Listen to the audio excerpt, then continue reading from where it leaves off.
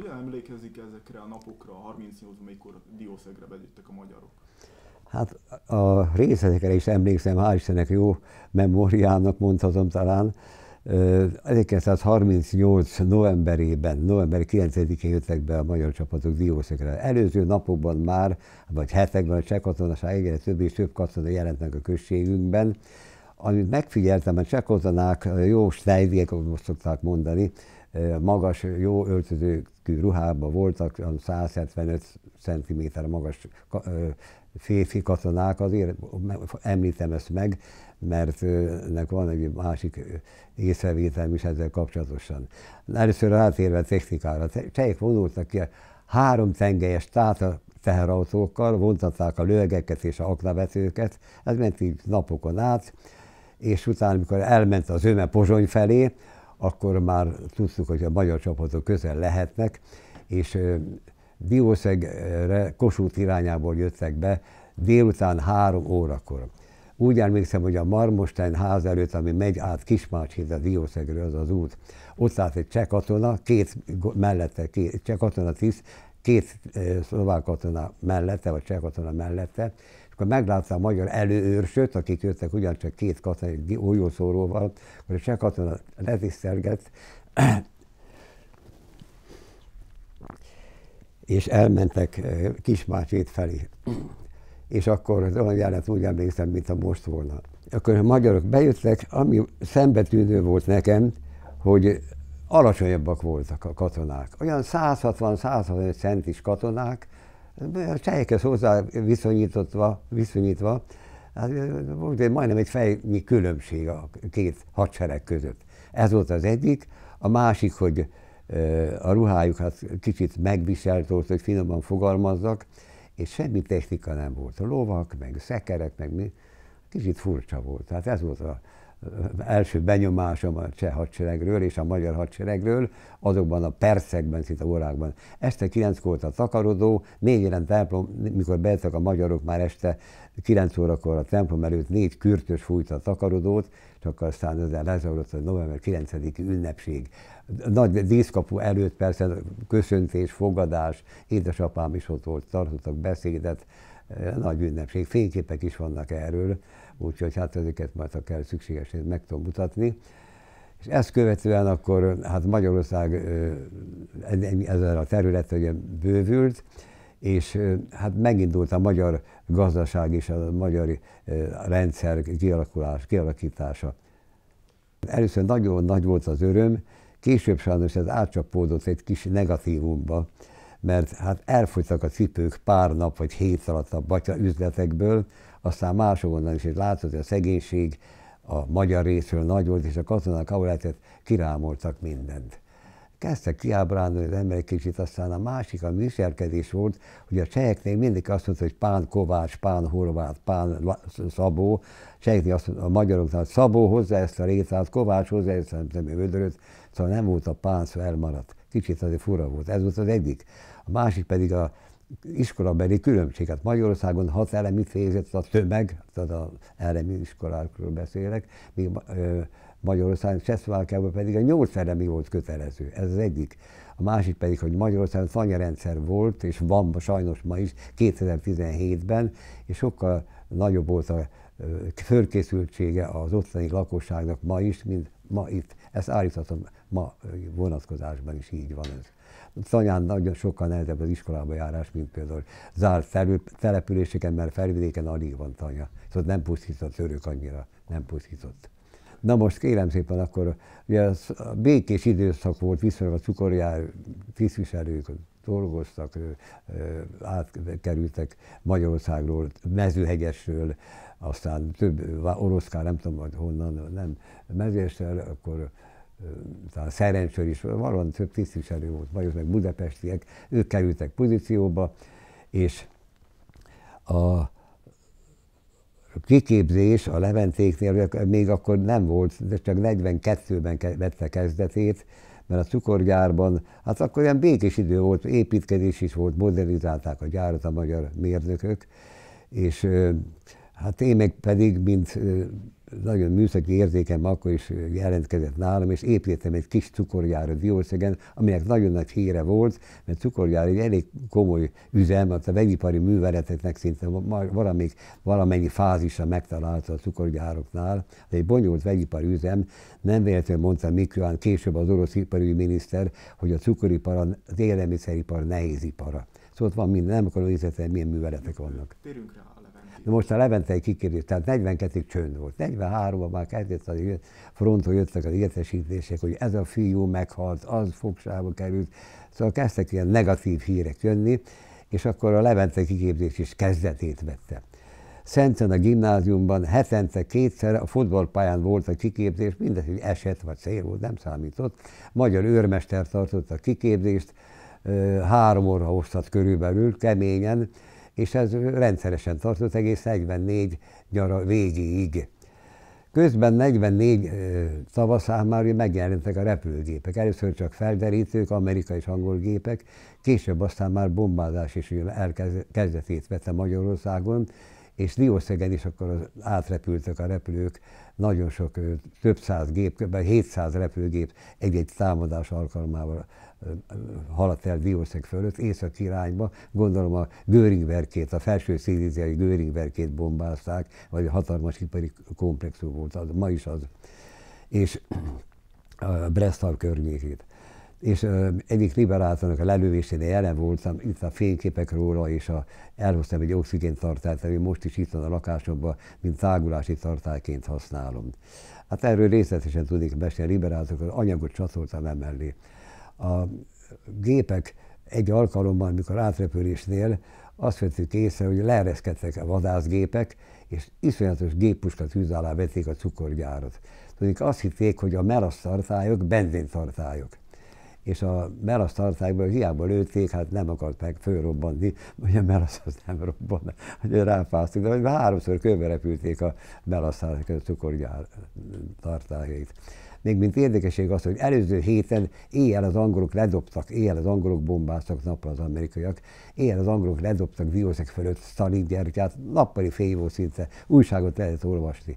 Nyilván ők kiértékelték a képet, és láttak a két melasztartályt, azt hitték, hogy ez valami vegyipari, vagy üzemi, vagy ilyen orrafinomító. Így került a sor a Diószegi gyár gépuskálására. Na, azt egyre jobban és jobban komolyodott a helyzet, Többen jöttek már, menekültek, katonák front, katonák haza, meséltek ezt és azt. Szaladt az idő, és elékeztünk aztán november végére, megszűnt az iskola, hogy oktatás a Szenti Gimnáziumban október végén, és akkor az október ö, utolsó napjában jelentkeztünk a front, az egész osztály.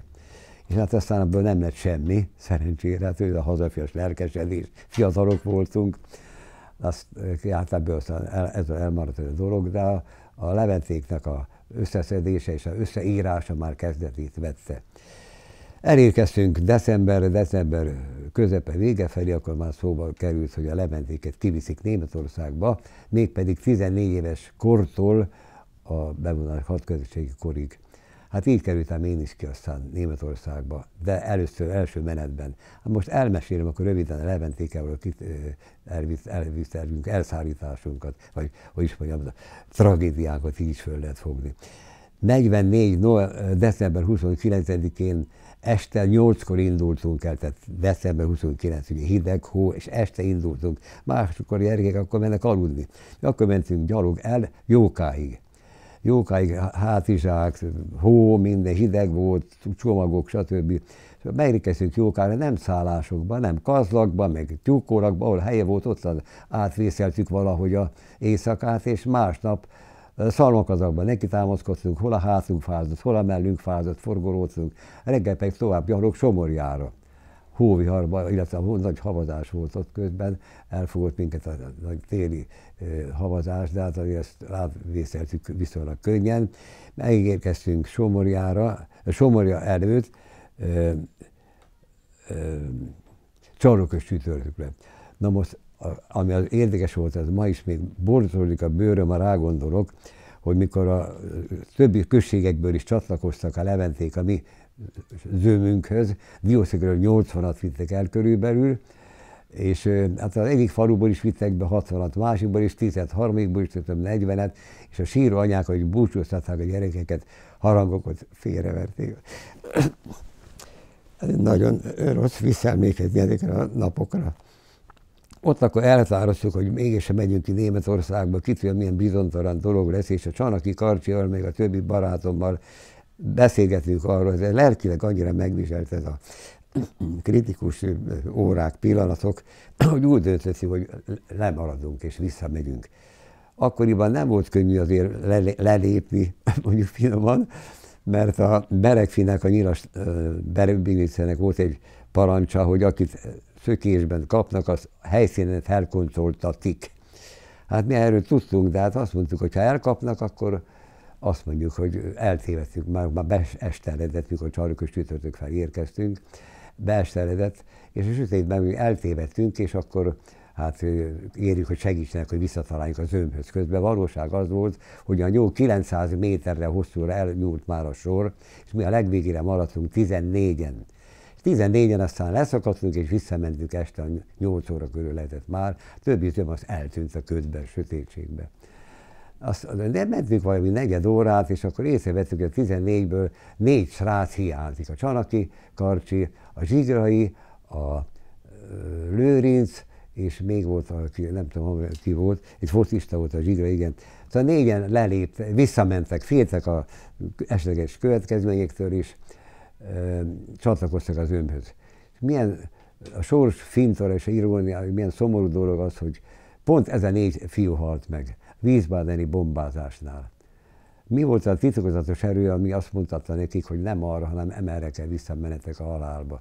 És a sírukat meg is találtam jóval később háború után, itt a fényképek is megvannak a magyar katonák sírjáról. Mi ezt visszamentünk akkor Diószegre, pontosabban hát Diószegre nem ilyen egyszerű volt a dolog, megpróbálom röviden összefoglalni, mert nagyon izgalmas. Kérem szépen, elérkeztünk Nemes gombára, Hubice, a tudom az a neve, meg és az azon a őségen mentünk tovább, és akkor hát tizen, tizen voltunk, és az egyik fiú, az a Tóti Csány nevű diószegi nagy vállalkozó fuvaros volt, hát volt egy nagy komoly sorjálkosban egy gazdaság, egy majorja, és oda mentünk. Ellátszak a szüleink pénzzel minket, és akkor béreltünk egy kocsit, persze az éjjel is 10 óra körül volt, éjjel sötétben már téren, és hidegben, nagy hideg volt, és hát a lovaskocsira fölültünk, tizen és mentünk Sorjákos Majorba, egész Somorja köré, az jó messze van oda még. Hát ugye át Szőgyém, egy úgy vagy nem tudom, majorok vannak közben.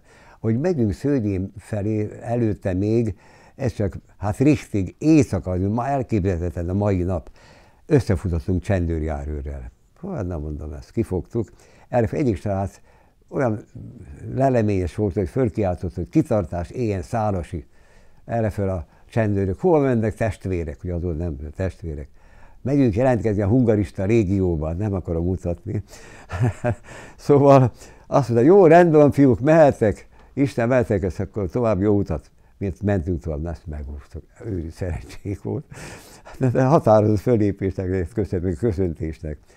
Megyünk Gyurcsi Majornál, éjfél lehetett, és akkor elsötétítés volt egész országban, Budapesten is tök sötét volt, nem lehetett kivilágítani ablakokat, vagy ablakon fényt nem szűrődhetett ki, mert akkor öt a csendőrök vagy a rendőrök szóltak, hogy kérem, tájékoztatják az egységes repülőgépeket, hát be kellett sötétíteni az ablakokat, az utcák, lápák nem égtek.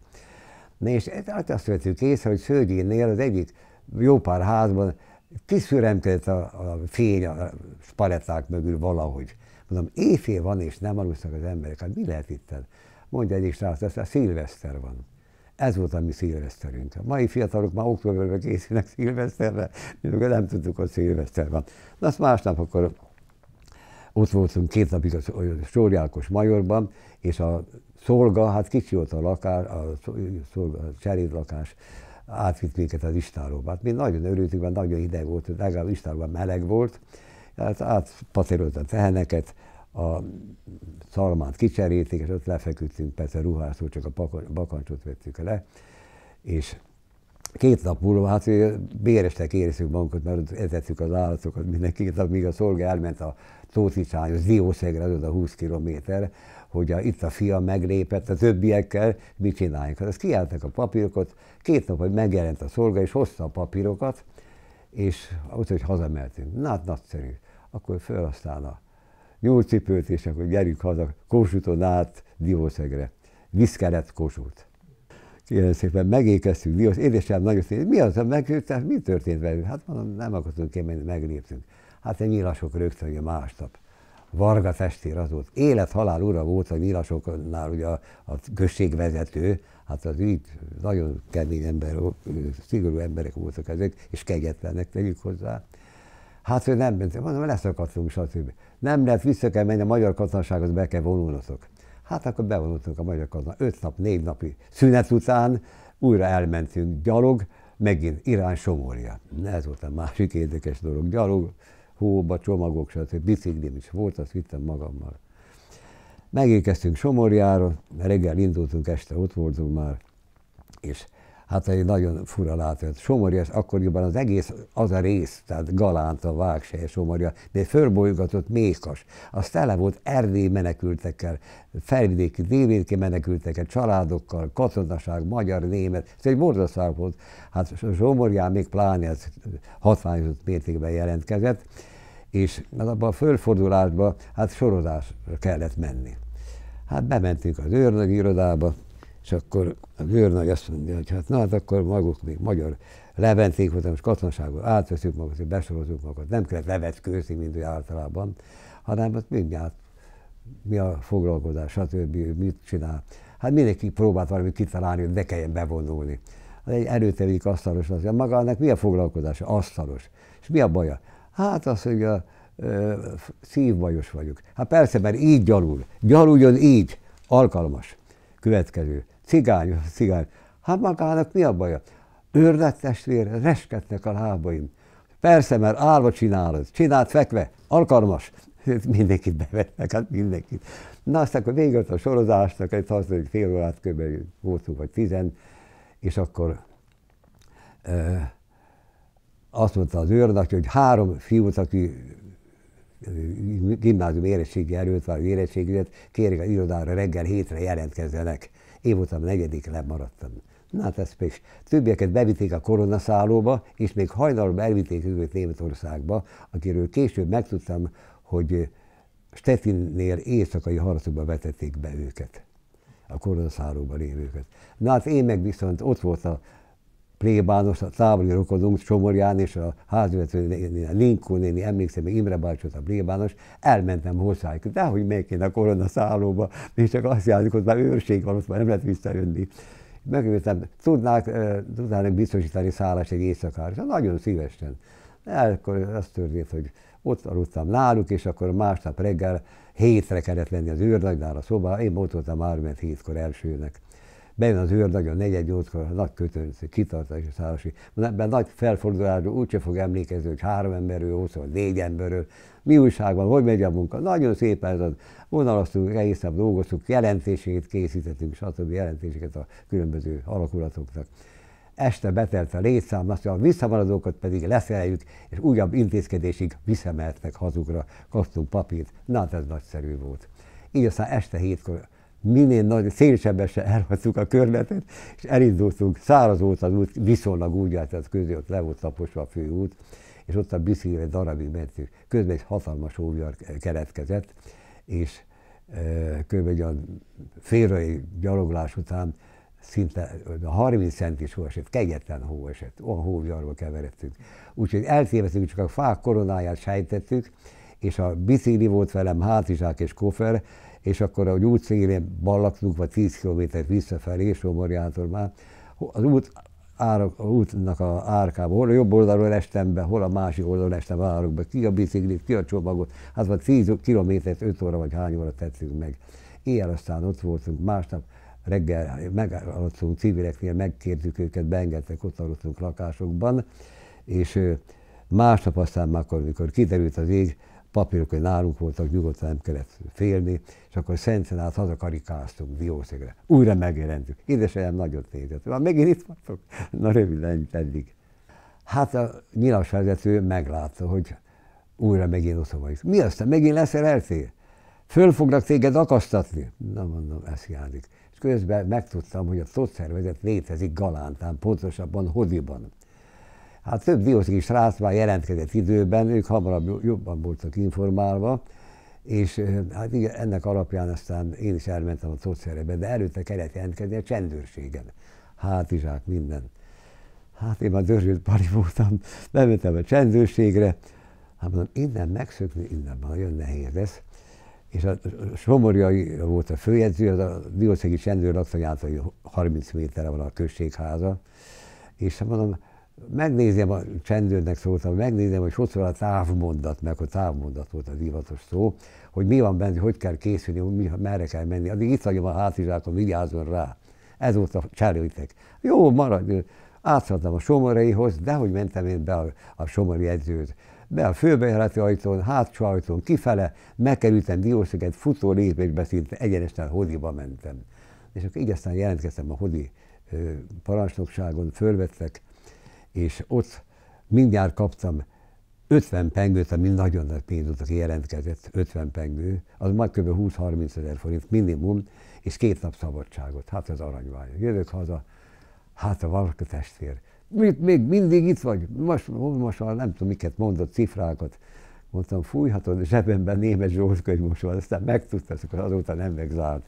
Na azt így kerültem Tóth szervezetbe aztán többek között. Szószerzben, hát mint szürke kis verebet, ugye beosztottak közkatonának, így mondjam, közmunkásnak, műszaki alakult a szociálvedet, és ott nagy hó volt, lapátoltam a havat. És kijön az őrnagi szobában, ez egy parancsnoki épület előtt volt, kijön az őrnagi szobában a Csoncos nevű Schuster Diószögen. Tehát Csoncos Schuster volt Diószögen egy jó menő jó szakember volt, és nálunk édesapám orvos volt, tehát jól ismert, nálunk sokat dolgozott, sokat, sok megrendelést kapott, és aztán meglát engem, aztán, és úgy beszélt, hogy a fogai össze voltak, de nem nyitotta ki a száját. Úgy azt mondja, mi azt mondom, maga, itt lapátol, itt lapátolok. Ó, hát mondom, hogy szó se, jöjjön be az őrnagyhoz. Bemegy olyan, hát őrnagyú, vagy őrnatestvér, hát ez nem lehet, hát körolvosnak a fülét lapát. Hát mi a fogal? Hát a gimnáziumot most érettségítik, nem sokára a gépból. Hát azt mondja, hogy féljem hogy sikerül, nem tudtam még, hogy alakul a jövőm. Azt tudja, mert fiamat latinra tudná tanítani, hát hogy mert, hát nagyon szívesen, szerintem humán gimnázium volt. Akkor tanítottam az őrnek fiát latinra, és közben beosztottak villanszerelőköz. Így aztán villanszerelőkkel jártam ki a balog videóval, jó haver volt, egy nagy kópé volt, azzal jártunk ki építeni vonalakat a frontführereknek, a német tiszteket úgy hívták, hogy frontführer, tehát hadnagyok. És kérem szépen, hol telefonvonalat, hol villant, építettünk, stb. Mindig mentünk ki. De ám csalét is volt, föltettük a nagy drótot, és a mászóvasakat, és aztán irány haza Diószökre. De hogy mentünk vonalat építeni. Egy alkalommal, édesapám nagyon szigorú volt, tök sötétben megyek haza, ott aludtunk, másnap reggeltünk vissza. Megyek az utcán, és egy egyéni epizód elmondom, találkozok a szerelmemmel, a nagy Jolival, aztán, illetve sétáltam vele, és édesapám meg jön velem szembe. Írtoztuk, tök sötét, elsötétítés, nem ismert meg, mellett elsiszoltunk. hát aztán nem különösebb jött. Akkor ugye nagyon szigorú volt. Hát, hogy példát mondjak csak még visszakanyarodni egy fél évet a gimnáziumi időkre. Ha kellett például moziba akartunk menni, tisztelendőnek kellett véleményezni, hogy mehetünk a moziba. Délután 5 órakor. És amikor már, mint én, Jávor Pál Karádinak a nyakát simogatta, az komoly szextek számított. Hát. De ilyen idők voltak akkoriban. Na hát kérem, Szóval szociálban aztán építettük a vonalakat, és reggelenként mentem be. Közben tele voltunk katonával, a mi házunk az ő hét szobás volt, édesapám orvosi lakása, kettő szoba volt, a rendőr és a váró, és a többibe pedig. A nagyszobában, nagyszobában 20 német katona volt elszállásolva, 20, emeleten pedig egy magyar alezredés a puszerjával. Mi meg egy kis szobában búzottunk, mert édesapám, édesanyám, és a cserélány meg a másik szobában, a konyhában és hát ezektől a katonáktól aztán szereztem géppisztolyt, meg aztán a géppisztolyt nem, az, igen, géppisztolyt, puskát azt a Tosszerbe kaptam, vagy pisztolyt, kibőre, legyen biztonság, azt kaptam, de parabellumot van, megvan a másolat, itt van nálam. És akkor a kézigránátokat, egy fél zsákot vettem a katonáktól. Na elég az hozzá, hogy reggelenként mentünk be, dobáltuk a német nyeres granátokat dobáltuk a varjakra, mert még a út mellett galán biciklivel mentünk vissza, mindig levegőbe, rengeteg varjú volt azokban időkben, február elején. Olyan élemes, okos madarak voltak, amik csak biszorítottam ki kézgránátot, meg akartam dobni, már elszállt, elrepültek. Egyik alkalommal föntakadt a kézgránát a fán. Hú, mondom, a fenem ugye. Ledekoltunk a hóba, és akkor robbant, és sűvítettek a szilánkok fejünk fölött, szerencsére megúsztuk. Hát szóval kényes volt. De hát, ilyen, ilyenekre többször volt ilyen eset, hogy mentünk be. Volt egy szomorú még visszafelé, azt is el kell, hogy még mondjam. Az, mert amikor jöttem vissza egyik alkalommal vasárnap délben biciklivel, és utolért két csendőr. Ők jobbról-balra mentek az útszélén, az betanult volt ma akkor is, én pedig közé, ők puskával, én gépisztolyal hátamon, német ruhában, és készíték mi újságban. Hát mondom, hogy megyek haza eltállásra. Azt mondja, hát még, még most végeztünk éppen két bujkáros zsidót Galántán. Úgy mondták, mint egy veremet lőttek volna le. Ó, mondom, jó társába keveredtem én. Aztán diószöken elváltunk, nem is akartam beszélni, kérdezősködni, mert ebben az időben minden szónak jelentősége volt. Ők azt mentek tovább a határ felé Kismácsi irányába, én meg mentem haza. De ez volt a szomorú epizód még. Hogy kezdődött a kivitelük Németországban? Na most ez a tartott ez körülbelül másfél-két hónapig ez a szociáleti élet, ugye, bár március 29-én mentünk el, tegnap volt az évforduló. 72 éve nem szeretnék egy másodperccel se fiatalabb lenni. Kérem szépen, március 29-én mentünk ki. Már az oroszok áttörték a vonalat a vágnál, mert az ott egy erődítmény volt. Előtte még megbombázták Galántát az oroszok, a Galántai pályaudvart, hát bombák, azok kis, kis bombák voltak azok.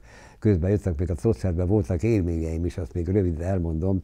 Egy olasz, több olasz volt, olaszok is voltak ott, akiket nem tudom, németek besoroztak be, oda, hogy bevittek magukkal, hozták, és hát beszéltem velük, hogy amit lehetett németül, nem sokat tudtam, nem igen, csak annyit tudtam, hogy olaszok, hát olaszul pár szót onnan tudtam, hogy angol BBC rádiót hallgattam mindig, és a magyar hírek előtt volt a olasz rádió, a másik, nem tudom, rádió, és úgy fejezte be mindig előző adást az olasz rádió, hogy eterminata nostra trasmissione, virgola, quarantiuno, quarant. Mondtam az olasznak egyébként, ó, oh, az, az, mondom, mi újság, Nápolyban, hogy nápolyak, mondom, hogy mutogattunk, amit olaszul nem tudtam, csak németül. Hát mondták, hogy nápolyak, és mondták, hogy amerikaiak, így mutat, hogy erősek, az amerikaiak erősek. Mi meg azt gyönge, az, ők Mussolini.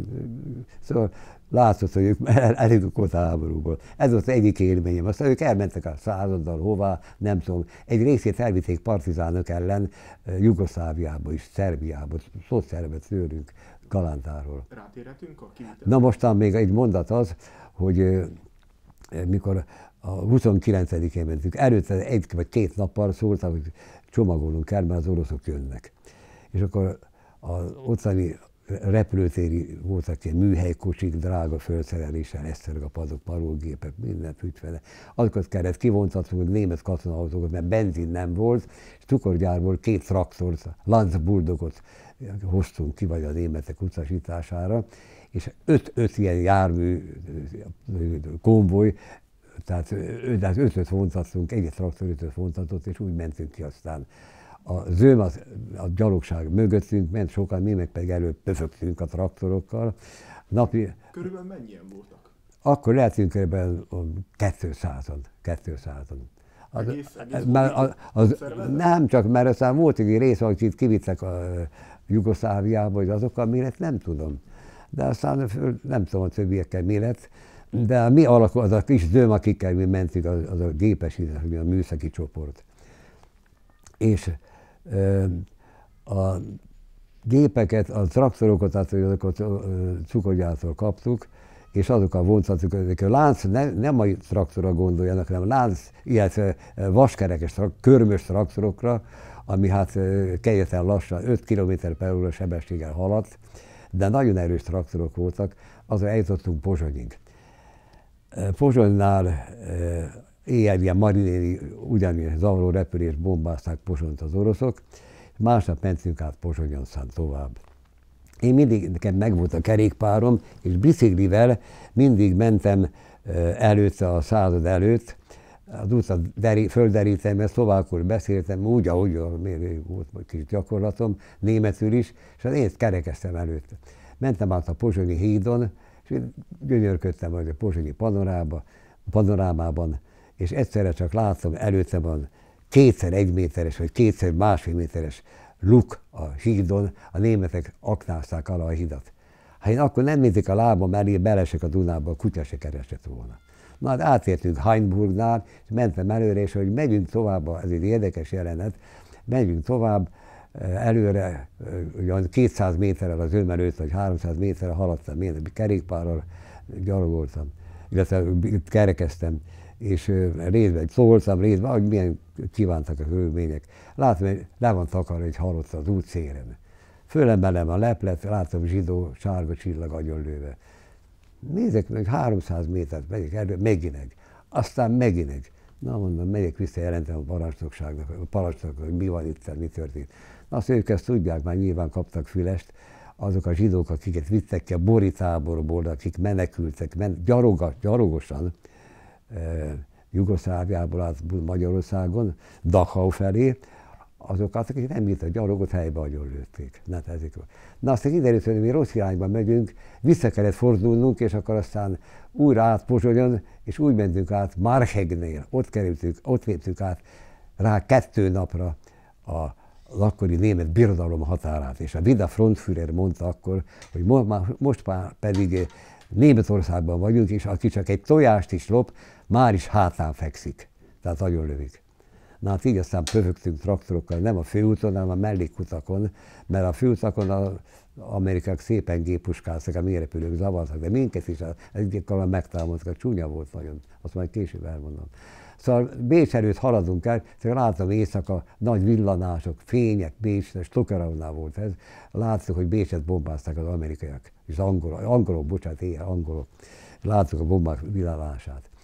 Akkor Klein Göpfritz, Heidenreisten, és így mentünk tovább aztán, és egy alkalommal mélyrepülők jöttek, meggépuskázták a előttünk menetelő német századot, hát az úgy előttünk egy 5 kilométer, hát nem közvetlenül előttünk.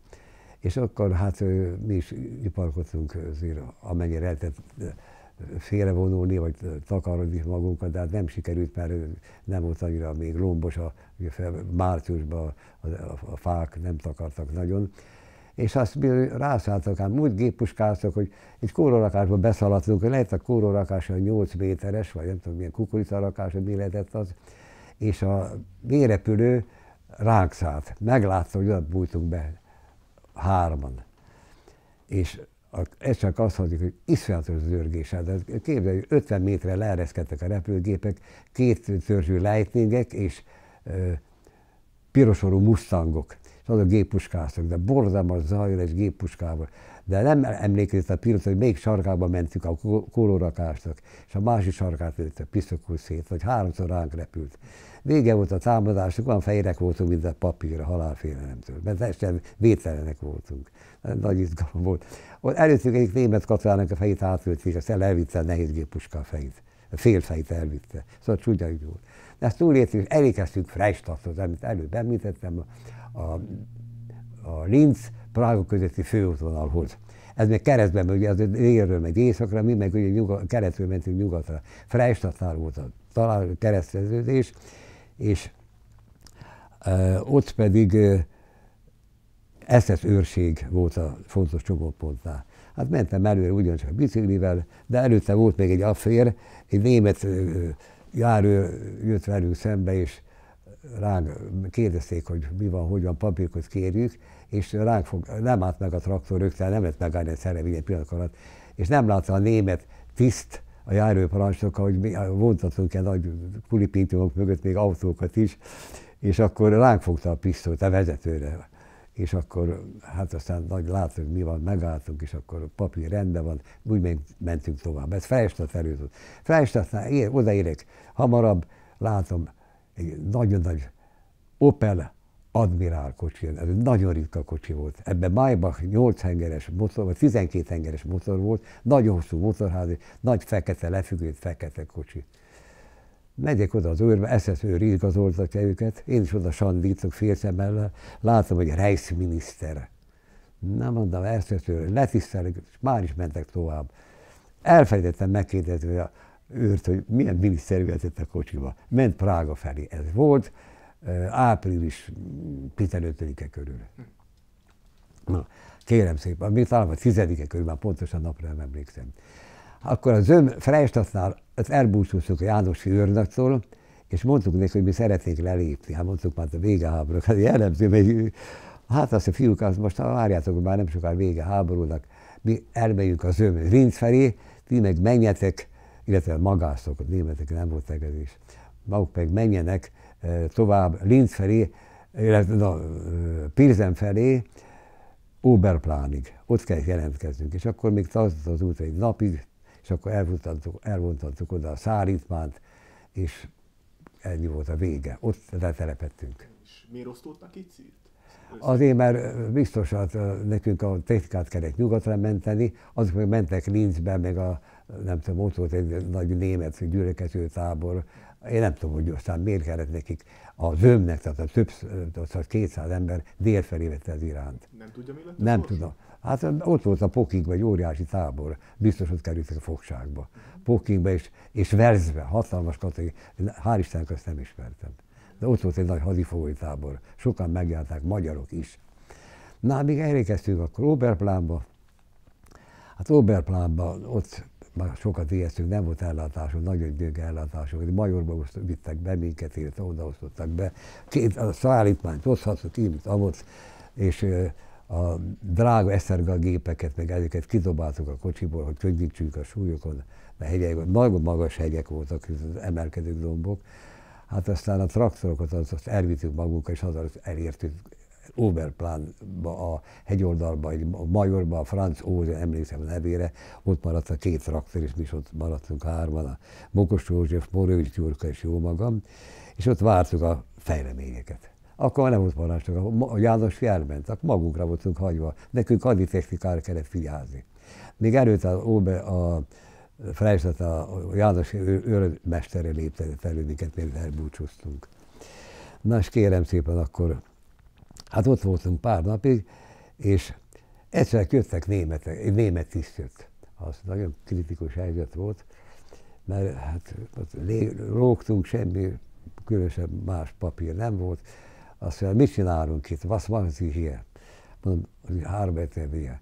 hogy dolgozunk itt. Und was arbeiten? Úgy emlékszem, mert fülembe cseng a most írta, hogy was arbeiten. Tudta is, hogy már mi van itt.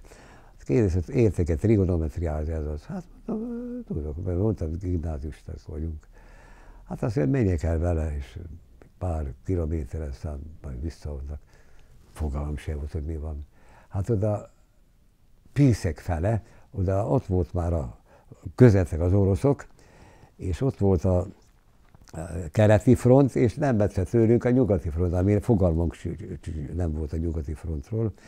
És mi megérkeztünk egy órai autózás után, és lehetett hallani keletről ágyú nörgést. Hát aztán ott én, mert ugye szlovákul tudtam úgy, ahogy is neki nagy, volt a, nagy segítség volt a németeknek, mert tudtam tolmácsolni németről szlovákra kellett, hogy van mire csere. Hát nem nagy különbség a cseret azért úgy, hogy meg lehetett érteni.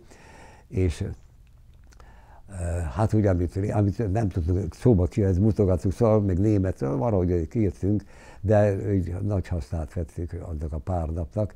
És közben aztán ott az oroszoktól zsákmányolt Rajbum 76-os, ha jól emlékszem, 76-os páncéltő ágyúval, zsákmányt ágyúkkal lőtték a németek, az oroszokat. Messze lehetett hallani ágyúdörgést.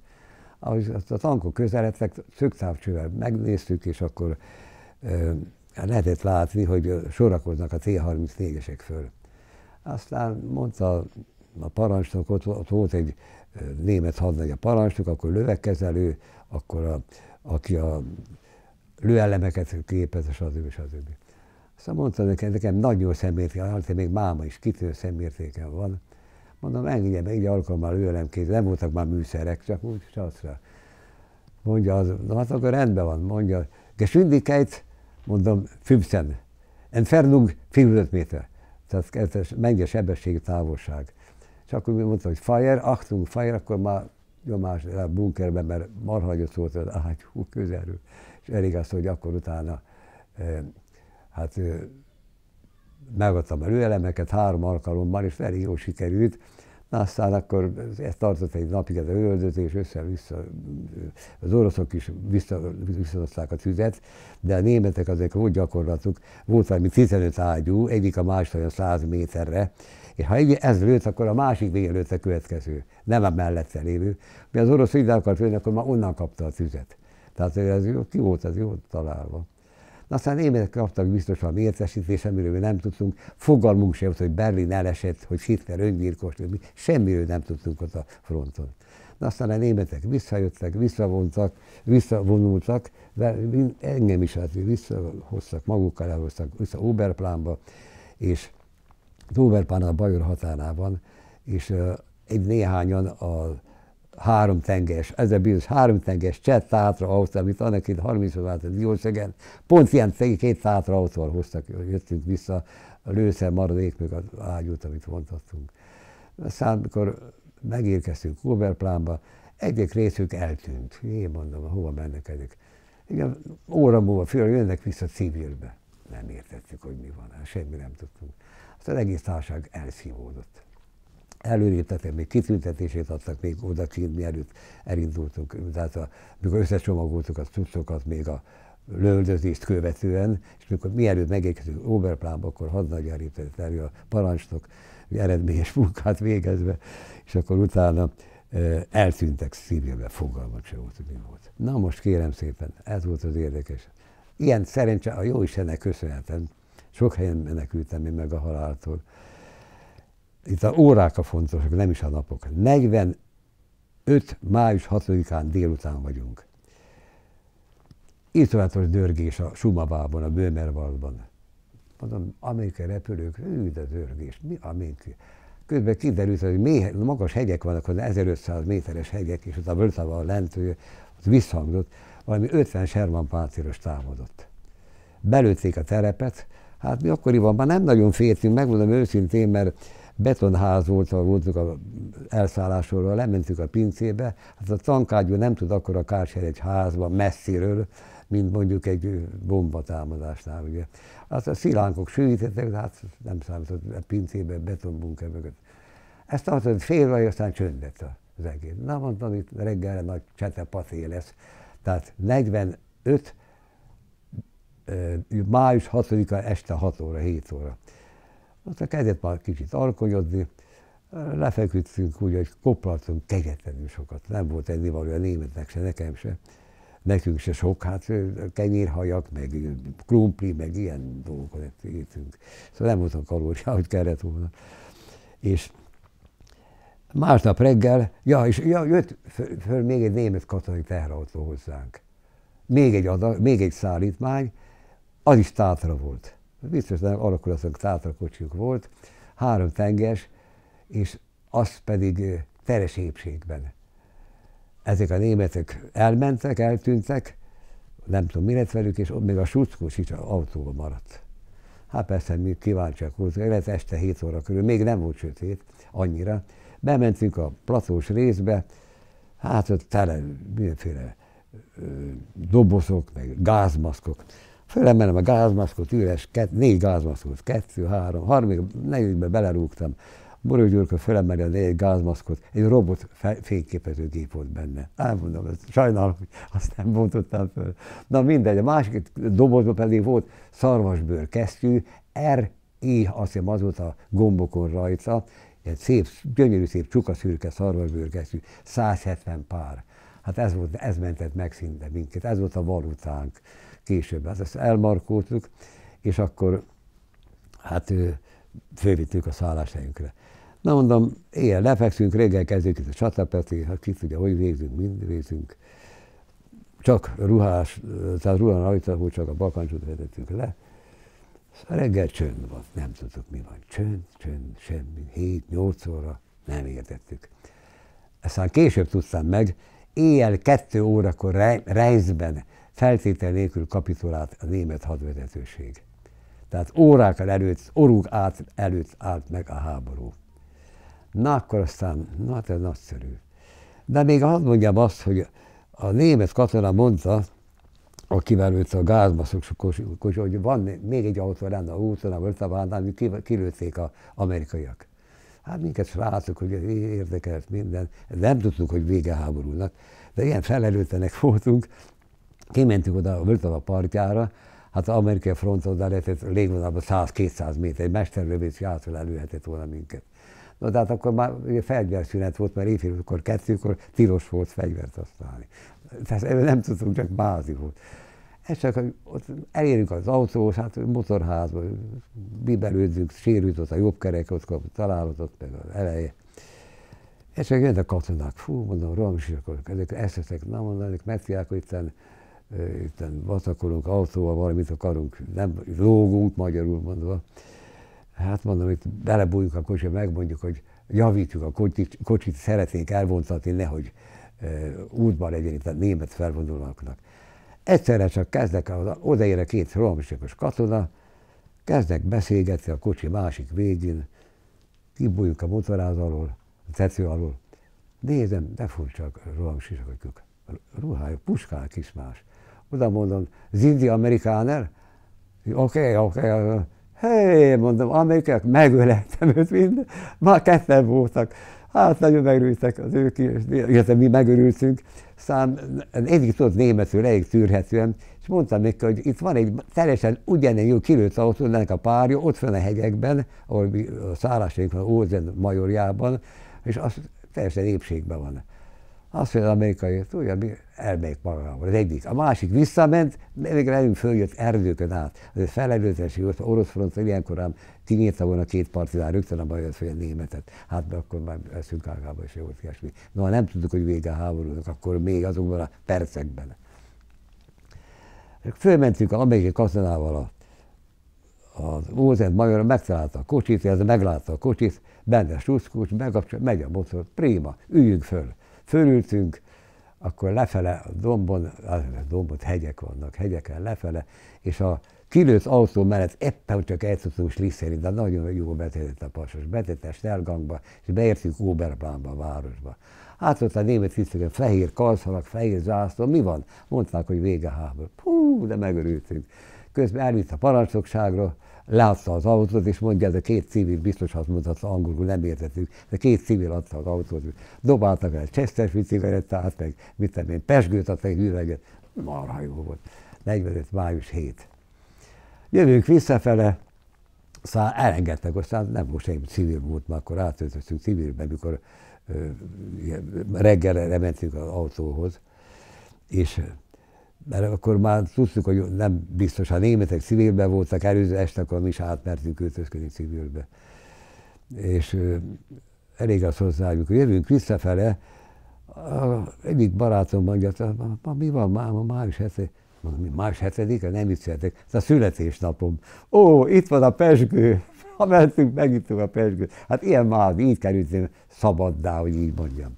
De hát két-három nap megjelentek a plakátok, hogy akik pedig lemaradtak, és katonai alakulatok kötelesek jelentkezni az amerikai parancsnokságon. Hát mindent Óne Vejteres, elmentünk a parancsnokságra, Oberplánba, két kilométer, begyalogoltunk, jelentkeztünk civilben.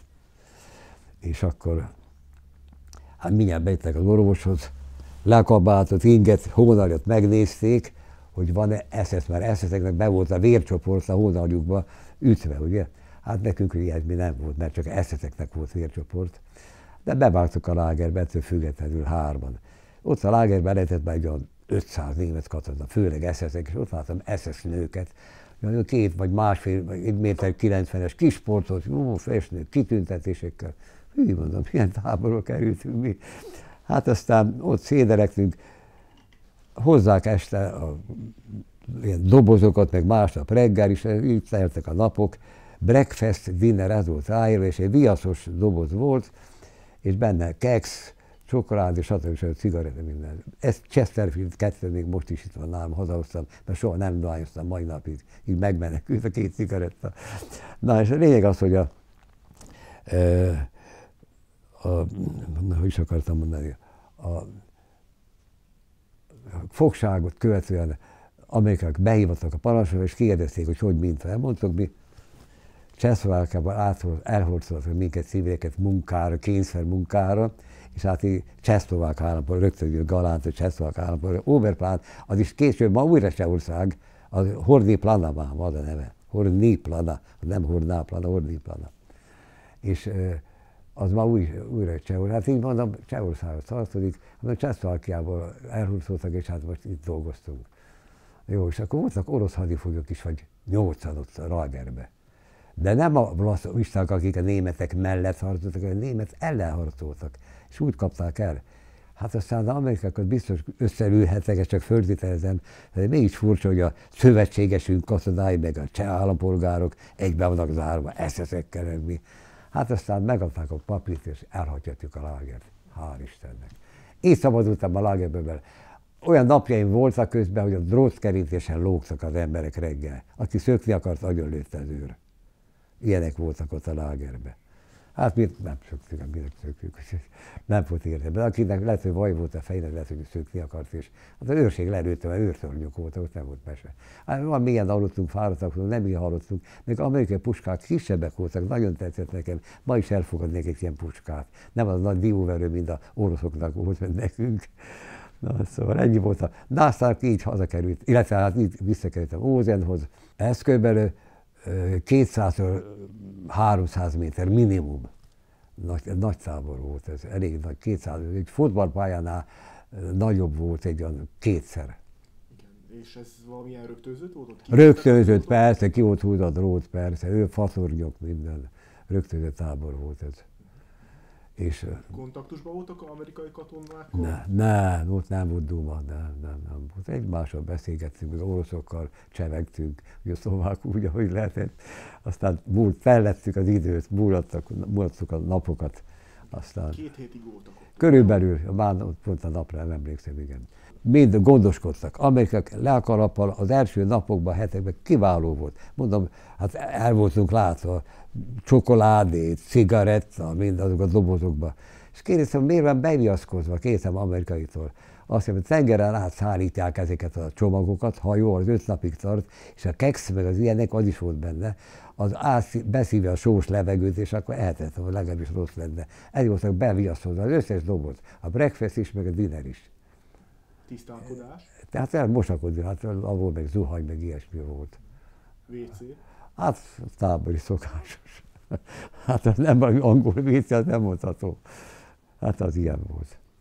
Hát két fogerenda, részben voltak talán a tiszteknek ilyen zárt kuripintyomok, és a nőknek, mert SS nők is voltak, nők is voltak ugye a fogolytáborban, legalább 30-ra satszolom, és hát hogy az életük mégis zárt vécében. A legénység, meg a tömeg, a massza, hát az gerendákon ülve, meg hát ami volt, ilyen eléggé primitív megoldások voltak, hát gödrök, stb. És higiéni, hát papír, meg hát, ez volt szap, meg mosási, kézmosási lehetőség volt, tehát erre vigyáztak az amerikaiak, hogy nehogy valami járvány felüssen fejét. Erre vigyáztak. Kérem szépen, hát az történt, hogy este, mikor hazamentem Diószegre, ugye szokás szerint Hodiból, haza szoktam úgy ruccanni, éreztem, hogy nagyon csípett a derekamnál valamit, nagyon erősen. Hát megnézem, kibontom a ruhámat, hát látom, mint a kömény meg olyan, és két ilyen fekete csík van benne, mint a amőbe átlátszó, de ez két csík benne. Hát tudtam, hogy tett, jaj, mondom, hát fogtam, szétnyom, kidobtam. Naívul. Azt hittem, hogy meg van oldva. Reggelre, mint a láng, az egész derekam már égett, hogy annyira elszaporodtak. Nagyon ronda veszélyes. Amerika fogságban ilyen, ilyesmi ott nem volt. Senkinek nem tudok, hogy arról volt, lett volna ilyesmi tetszik, hogy valami. A németek is vigyáztak a tisztálkodásra, amerikaiak pedig ott ellátok, bőven volt hiány, meg fertőtlenítő, hát nem hipó, valami másnak nevezhették, de ott voltak ilyen ö, vegyszerek, amivel a esetleges járványokat megelőzték. Hát mikor kiadták a papírt az oroszoknak, mert nekünk, mint csehszlovák állampolgár, mi akkor már, mert nyilván a parancsnokok láthatták, hogy ezek nem katonák, mert nálunk civil volt minden, a civil ruha volt velünk, azt vittünk magunkkal élemes magyarok, az oroszok pedig hát azok egyenruhában voltak, de hát mind ellenséges. A németeknek ellenséges katona, az orosz, Amerika szövetséges, őket kiengedték, aztán velünk is egy darabig jöttek, sőt, föl is kísértek egy páran a, az Ózen, Franz Ózennek a, a rezidenciájára, ott kicsit tisztálkodtak, még meg, meg ettünk, amit kaptunk, és még emlékszem, hogy még volt még hajam, egy tatár orosz írt engem le, a Borbi, az volt, még ilyen apróságra emlékszem. Na hát ott volt egy pár napig, és akkor aztán papír birtokában, mert kértük, hogy adjanak papírt, Oberplan Galánta, ez volt kiírva, és akkor elindultunk, és ékes nem Piszek felé, hogy nem tudom, a Jóisten mondta, vagy vezérelte, átmentünk Passzaunak, át a Duna, Duna irányába, tehát keltünk a Sumaván, és akkor Passzaut megláttuk a hegy tetejéről, nagyon szép látvány volt, így, hogy becsatlakozik a Dunába. Úgy aztán mentünk le egészen Lincig, a Duna balpartján, még a Duna nagyon keskeny. Egy epizód volt a Eferdingnél. Hát az történt, hogy amikor reggel ebből magához ébredezett, és az ember körülnézett, hol is van, mint, és akkor látja, többször ugye megfigyeltük, hogy hol itt ebben a sarokban, hol a másik sarokban dróton lóg valaki. Ezt nem tudtuk, hogy aztán közben gondoltuk, hogy nyilván éjjel lelőtték, szökni akart, és a őrszoronyból hát ott nem volt mese. Ezeket aztán, hát a szökeményeket mindenütt, nem csokothatott, mindent lelődik. Erre emlékszem. Ez volt, amire, amit tudok. És hát különösen hogy más a tábor, egy monoton a tábori, fogolytábor élet. Az egy kegyetlen dolog ilyen szempontból. Nekünk mondom, ellátásunk jó volt, de később, akik ott képső hallottam a francia fogságban, meg ezek sokan nem is bírták lelkileg és sőt fizikumilag sem ezeket a megpróbáltatásokat. Beszélgettünk egymás közé magyarok hárman, oroszokkal egy pár szót váltottunk, visszaemlékeztünk a hódi eseményekre, gimnáziumi időkre, hát a diakori élményeiket beszélgettünk, az se kártya, hogy ilyesmi nem volt. Hát ültünk és vártunk. Ettünk, feküdtünk, akkor már kezdett jó idő lenni, május 7-e, 10-e körül, 15-e körül, akkor az ember kicsit lazított a ruháján, jól is esett mindig ruhába lenni, ugye az akkor kicsit napoztunk, hát ezzel semmi különösebb más nem volt. Szabad, nem volt, nem volt ház, szabad ég alatt voltunk. Persze, szabad ég alatt. Drótkerítés, szabad ég. Mező. Nem volt ö, valami olyasmi, hogy eláztak volna, mert azért vannak ilyen esők. Hát volt eső, de az nem volt vészes, nem volt szerencsékre, de biztos, hogy voltak nagy viharok. Hát az, az, az, az kegyetlen volt, mert elázott a ruhájuk, az bizony súlyos következményekkel jártott, esetleg megfáztak egy páron, sőt biztos, és aztán akkor komolyabb következménye lehetett esetleg tüdőgyulladás vagy valami hasonló. Úgyhogy azok, akik meghaltak, azok csak azok voltak, akiket lelőtt. Az, én csak azokat láttam. Ott, ott meg, a lágerben nem halt meg senki, aki mit én, kop, koplalás vagy fertőzés, vagy halt volna meg, vagy betegség következtében. Csak akik szökni akartak. Hogy hova vitték őket, nem tudom. Eferdingnél, hát kérem szépen, megyünk az úton, bicikli, nálom volt még, az Ózentől nem volt ennivalónk, eladtam neki egy biciklit, egy kiló szalonnáért és egy kiló kenyér, és a két traktort, két, két traktort, egy kiló szalonnáért és két kenyérért. Két kiló kenyérért. Milyen traktor? A Lanz Bulldog, amit mondtam. mindig ugyanaz? Ugyanaz, persze. A, hát, nem, a traktort eladtuk az, az ott maradt a Ózennál, a Majorban, ahol mondtam, hogy voltunk ugye Majorban, az volt a végállomás. De ez még a hadifogság előtt volt. Igen, na, na azokban, ez, ez, már amikor kijöttünk, visszamentünk a Ózenhöz. Hát Oberplántól a fogolytábor a Ózenig, az lehetett egy két kilométer, nem volt, vagy három kilométer. Visszamentünk, és akkor eladtuk a traktort, meg a előzőleg a biciklit eladtuk nekik, és később hajnalban fölkeltünk, és a biciklit visszaloptuk, és azzal fölpakoltunk gyorsan, és föl a 170 pár kesztyűt, még ami személyes tudszok voltak. Így Sumava át egyen, és irány le Eferdingnél. Eferdingnél erdőből, a Dunapartján elénk ugrott egy orosz. Úgy emlékszem, azt mondja, davaj, davaj, és a biciklit el akartam vinni. Ezt próbáltuk, ráfut a revolvert, hát nem volt mese, hogy hát nem tudtuk mit csinálni. És mondom, próbáltuk lekötni a szíjakat a bicikliről, mondja az orosz, úgy emlékszem a szóra, odrezsát, odrezsát. levágni, ugye, és akkor hát sikerült lebontani, és akkor elvittem biciklit, többi cucc ott maradt. Na, de hát egy csomó dolog volt, sokkal nehezebb lett a szállítmány, meddig a bicikli volt. De az szerencsét már sík rész volt, és hogy átkezdjük aztán Neferdingnél a Dunán, hát persze a kompostnak is mint tíz pár kesztyűvel fizetünk, tíz pár kesztyű, itt fizetünk, azóta valuta jobb értéke volt, mint a márkának. Hát 170 pár azért az mennyiség volt. Későbbiekben is még használtuk, még magyar oldalon is. Már jöttem, mikor a magyar területre értünk Pozsony után. Azt vittünk magunkkal. Na kérem szépen, elérkeztünk Lincig. Ez három napos út lett körülbelül, három napig. Szállásoltunk privát helyeken itt-ott és ez így megint érdekes az Isten újra történelemben. Megyünk, egyszer találkozunk az országot, a magyar katonákkal, szembe velünk jönnek. Valaknak vagy tizen, mi meg megyünk ott hárman, csomagokkal. Csak a barátom, a Boros Gyurka fölkelt, hogy Gyurcsi Tibi, te vagy az? Azt mondja, én vagyok, hogy? Hát, kollégák voltak, kereskedelműben jártak. Hát azt mondja, hova mentek? Szeretnék hazamenni vissza Magyarországra, vagy Galántára.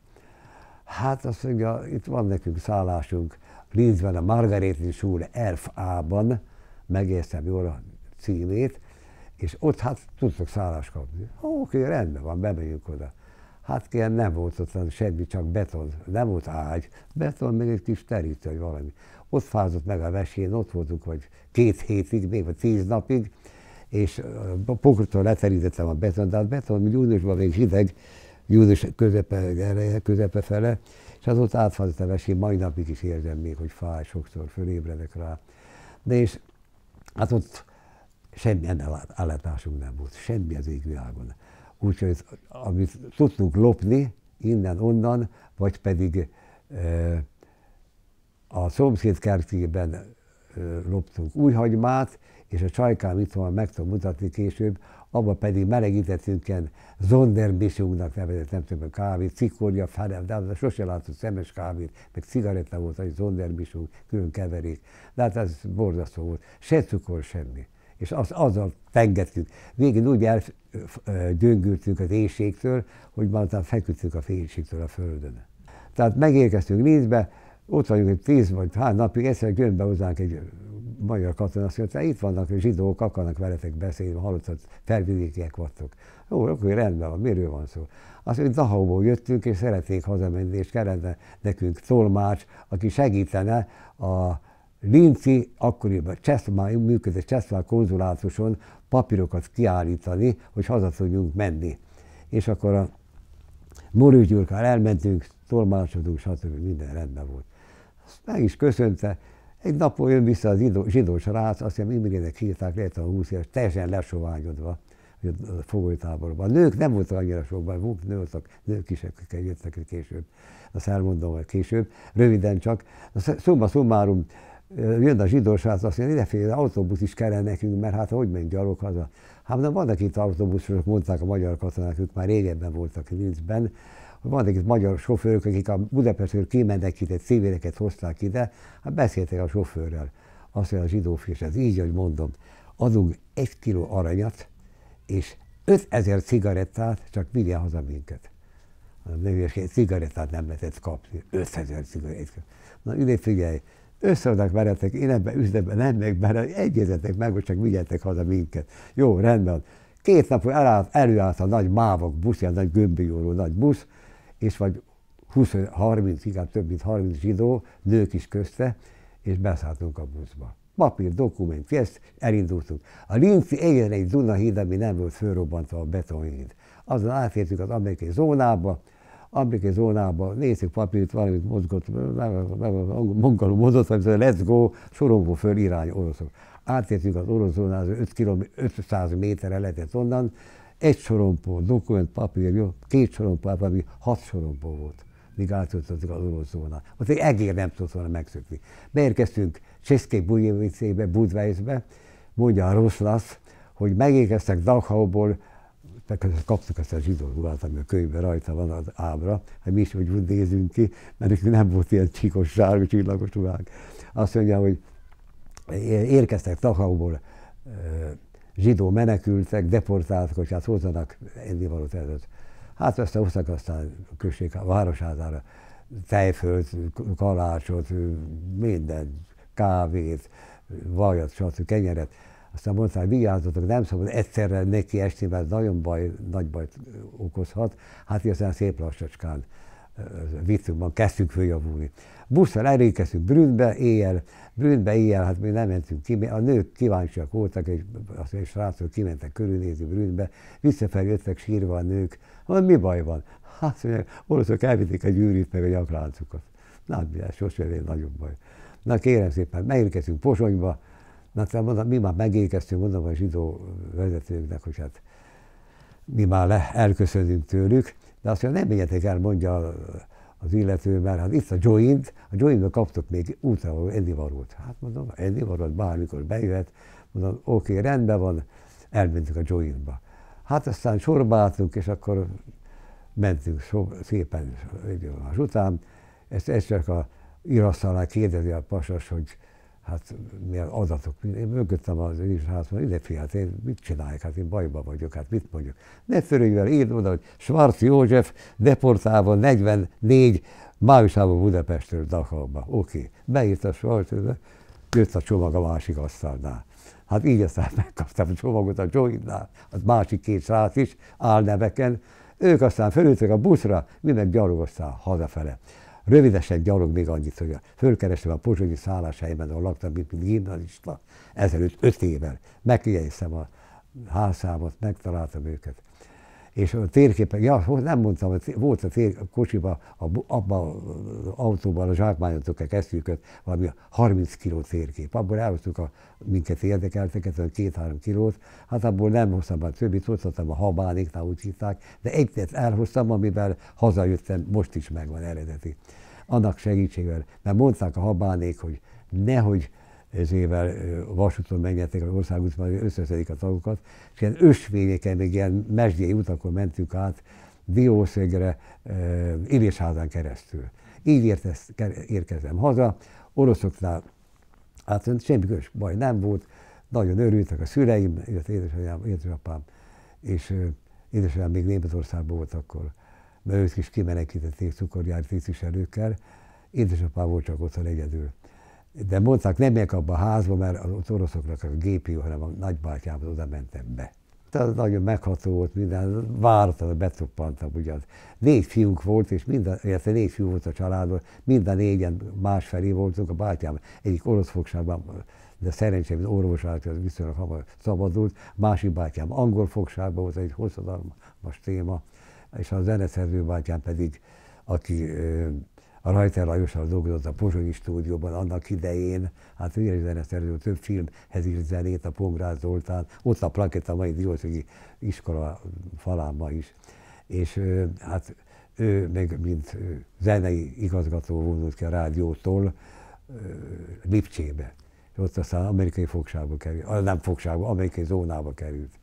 De Na. maga a fogadás az hogyan Otthon, hát egyszerűen édesapám, hogy az össze voltunk préselve, és orosz tiszt lakott a, a házban, nem jelentett a nagy bazát csinálni.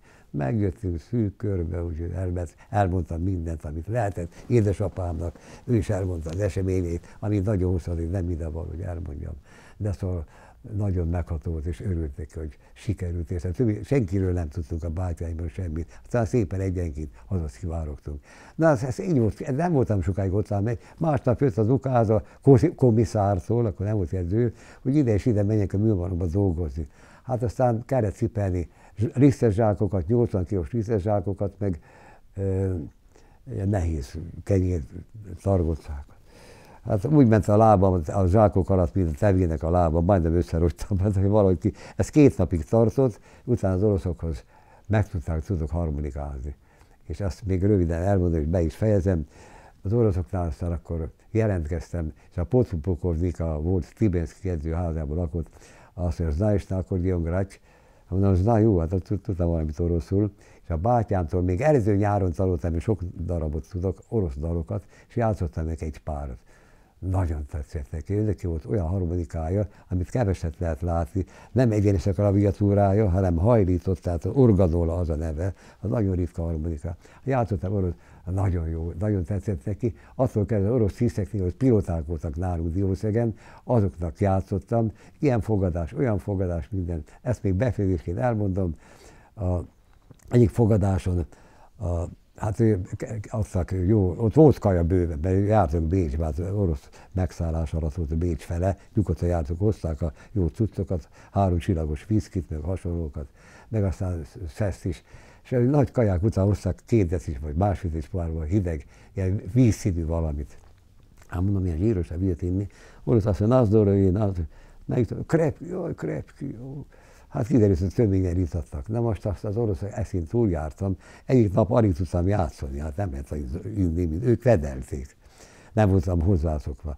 Másik alkalommal, amikor volt ilyen összevetel, szóltam a Dári nénének, ahol be volt egyik pilóta, az nagy szálláson, a fényképek megvannak a könyvben, és ott ö, ö, le van írva ez részletesen, akkor a Dárint megkérte, hogy adjon tő, üveget töltsére, csempész az asztal alá, mikor már kicsit nyomás volt, következő másik pohárnál nem ittam meg, ha nem néztek oda, belöntöttem tőle. Volt, hogy fél litert kellett haza minden. Egyik alkalommal egyik bárisnél észrevett pilóta nőket, de értelmes nők, egyik Leningrád Egyetemben volt orvosta hallgató. Szóval nem egy eh, pilótáknál értelmesebb társaság volt, és aztán elég az hozzá, aztán így akkor hát megúsztam, nevettek rajta, de szerencsére így ment el a nyaram, 45 nyara, mikor mások ott haldokoltak a fogságban, meg, meg kegyetlen körülmények én meg ilyen szerencsésen átvészeltem, amíg az oroszok kivonultak Bioszegről és a később Csehszlovákiából, és így aztán folytattam tanulmányomat az érettségig, és itt a vége elmondta, ez volt a lényeg, röviden, tömören az egész. Hát kénysz először utókornak azt üzenem, hogy az ember sose tudja, hogy mit hoz a jövő. Mindig föl kell készülni, mindig mindenre. Első, hogy hogy edzett legyen az ember. A mai fiatalság sajnos számítógépek mellett ülnek, nincsenek megedzedve. Nem tudom megedződve, nem tudom, hogy ők hogy tudnák ezt átvészelni, hogy gyalogolni hóba, kegyetlenül körülményeket, éjjel kint aludni, stb. napokig, és éhezni, koplalni. Szóval nincsen megedződve, tehát a fizikai elő, erőlét nagyon fontos, és nagyon hiányolom, hogy nincs hadkötelezettség. Ausztriában van, én javasoltam itt a televízióban és a magyar televízióban is a hadkötelezettséget igenis be kellene vezetni, mert az tartást ad, fegyelmet és tisztesség, tiszteletadást. Ez nagyon fontos a mai fiatalságban, amit hiányolok. Ezt, ezt üzenem, hogy legyenek férfiak, kemény férfiak. Jó, nagyon szépen köszönöm. Én is köszönöm, hogy részt vettem, és visszaemlékezettem. Sajnos mai napig is még kísértenek egyes szomorú momentumok.